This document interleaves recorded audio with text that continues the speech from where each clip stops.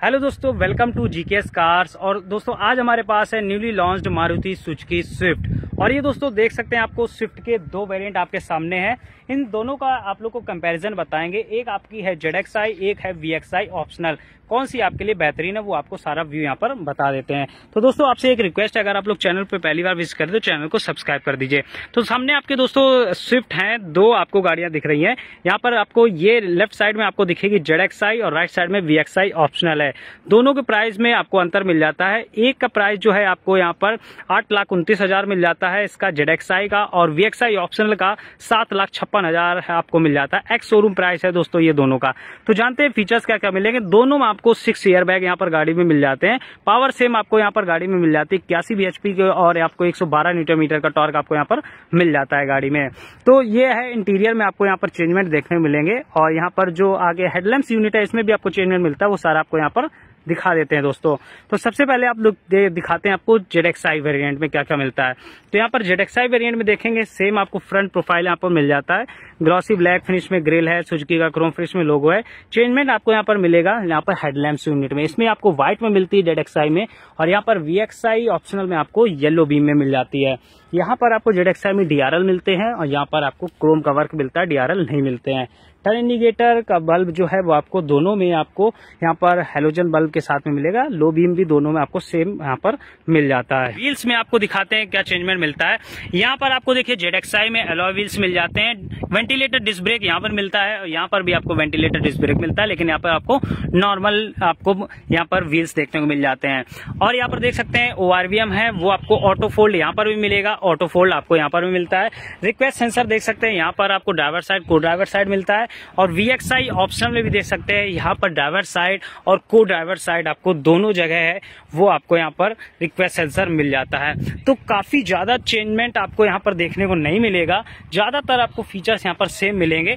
Interior में आपको दिखाएँगे। इंटीरियर में कुछ चेंजमेंट आपको यहाँ पर देखने को मिलते हैं। सबसे पहले आपको दिखाते हैं जेड वेरियंट में इंटीरियर में आपको यहाँ पर क्या क्या देखने को मिल जाता है। तो ये देख सकते हैं इंटीरियर में हम लोग यहाँ पर बैठ चुके हैं गाड़ी के।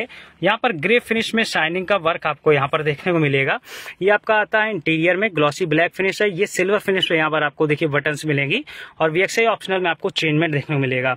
जेड में यहाँ पर वायरलेस चार्जिंग आपको मिल जाती है और यहाँ पर देख सकते हैं, ये आपका व्यू मिलता है। यहाँ पर इंजन स्टार्ट स्टॉप की बटन है। Automatic engine off traction control का बटन आपको यहाँ पर मिल जाता है। तो इतनी चीज़ें अभी आपको दिखाते हैं वीएक्सआई ऑप्शनल में, और यहाँ पर देखिए ट्विटर्स भी मिल जाते हैं ZXI में। और यहाँ पर वीएक्सआई ऑप्शनल में दिखाते हैं तो आपको वीएक्सआई ऑप्शनल में देखेंगे तो यहाँ पर आपको देखिए मिलता है इंजन स्टार्ट स्टॉप का बटन आपको मिलेगा traction control automatic engine off ये भी आपको यहाँ पर मिलता है और यहाँ पर आपको क्या क्या चीज़ें देखने मिल जाती है इंटीरियर में तो यहाँ पर देख सकते हैं जो यहाँ पर एसी का लुक है बटन ये आपको यहाँ पर ब्लैक फेस में मिलते हैं यहाँ पर लाइटनिंग भी आपको देखने को मिल जाती है दोस्तों तो ये लुक आपको यहाँ पर देखने को मिलेगा देखिए रेड कलर आपको यहाँ पर ब्लिंक होता हुआ दिखेगा पार्किंग लाइट की बटन आपको मिलती है यहाँ पर नॉर्मल ब्लैक फिनिश आपको यहाँ पर मिल जाता है सिक्स एयर बैग आपको इसमें वी ऑप्शनल में भी मिलते हैं और यहाँ पर जेड में भी आपको मिल जाते हैं दोनों में तो ये है, यहाँ पर वायरलेस चार्जिंग आपको दोस्तों नहीं मिलती है वीएक्सआई ऑप्शनल में।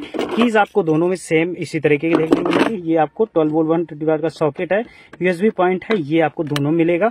यहाँ पर आप देख सकते हैं फूटरेज का डेड पैडल है, वो भी आपको दोनों में देखने को मिल जाता है। तो सारे फीचर्स इतने कॉमन आपको मिल जाते हैं। यहाँ पर नॉर्मल ब्लैक फ़िश आपको, पूरा डैशबोर्ड है। यहाँ पर देख सकते हैं तो सेवन इंच की टच स्क्रीन मिलेगी। तो यहाँ पर लेकिन नॉर्मल ब्लैक मिलेगा। और जेड में आप लोग देख सकते हैं तो वहाँ पर दिखाते हैं आपको।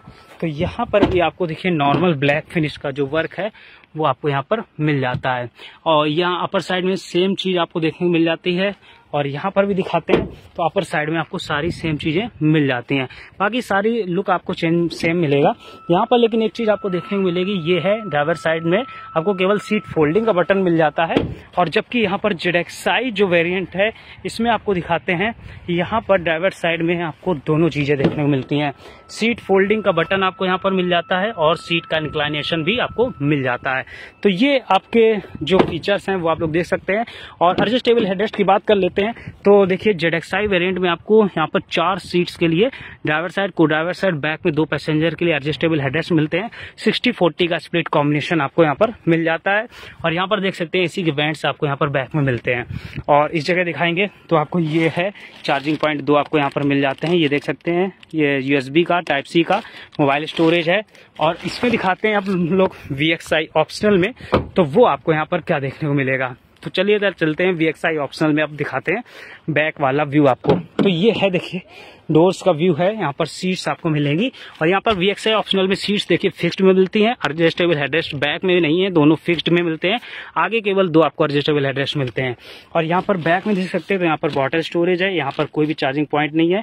इसी इवेंट्स बैक के लिए आपको यहाँ पर VXI ऑप्शनल में नहीं मिलता है। पार्सल ट्रे यहाँ पर आपको मिलती है वी ऑप्शनल में। और जेड साइम में भी आपको मिल जाती है। तो ये आपको जो डिफरेंस है, वो आपको यहाँ पर देखने को मिलता है दोनों गाड़ियों में। तो वो आपके सामने है। दोनों गाड़ियाँ आप लोग कंपैरिजन कर सकते हैं। आपको कौन सी बेहतर लगती है, वो आप अपने अकॉर्डिंग सेलेक्ट कर सकते हैं। हमारा जो काम है दोस्तों, आपको यहाँ पर दोनों में डिफरेंस बताने का, वो हमने बता दिया है। सेम चीज़ें बाकी आपको यहाँ पर मिल जाती हैं। जो भी डिफरेंस था, वो हमने आपको यहाँ पर बता दिया है।